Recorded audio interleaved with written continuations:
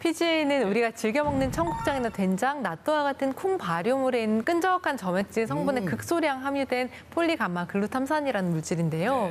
이 아미노산의 한 종류인 글루탐산이 여러 개가 모여 있는 것을 폴리감마 글루탐산이라고 합니다. 쉽게 말해 콩을 발효시키는 과정에서 만들어낸 대사 산물인 건데요. 이 대사산물에 칼륨을 결합해서 만든 신물질이 바로 PGA-K입니다. 근데 이게 PJK가 우리나라에서 개발됐다는 건가요? 네, 이 PJK는요, 이 우리나라에서 개발하고 나서요, 한국, 미국, 중국, 일본, 영국, 프랑스 등 이제 10여 개 국가에서 특허 등록이 되어 있다고 하더라고요. 아니 네. PJK가 실제로 면역력에 도움이 되나요? 네, 이 실제 한 연구에서 이 건강한 한국인 99명을 대상으로 8주간 하루 1g씩 PJK를 섭취하게 한 후에요. 이 NK 세포 활성도 검사를 했더니 이 활성 수치가 무려 52.3%나 와. 증가했다고 합니다. 이 실험을 통해서 이제 PJK는 우리가 흔히 면역력에 좋다고 하는 이 상황버섯 대비 3.3배, 인삼 대비 1.5배 이상의 이게 NK 세포 활성도를 높이는데 도움이 된 것으로 확인됐습니다. 야, 근데 뭐 어떻게 이렇게 차이가 나는 건지 굉장히 궁금해요.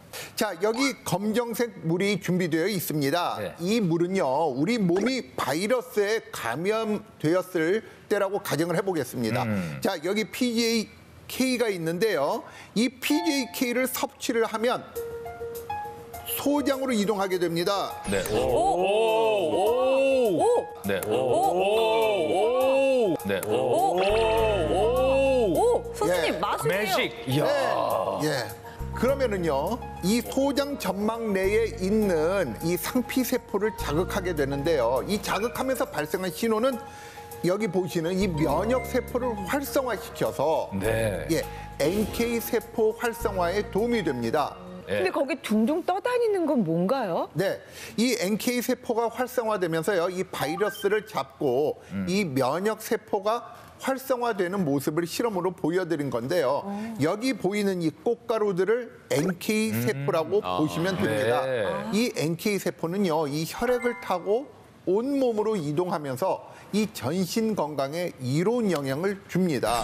네, 예전에 사스 바이러스가 한참 유행이었던 적이 있잖아요. 어, 그랬었죠. 네, 맞습니다. 실제로 한 세포 실험에서 PJK를 투여한 실험군에서 사스 바이러스의 증식률이 65%나 감소했다는 연구 결과도 있습니다. 야, 야, 뭐 이- 이것저것 들어보니까 PGA-K가 바이러스를 잡아줬네요. 확 잡아주네요. 네, 맞습니다.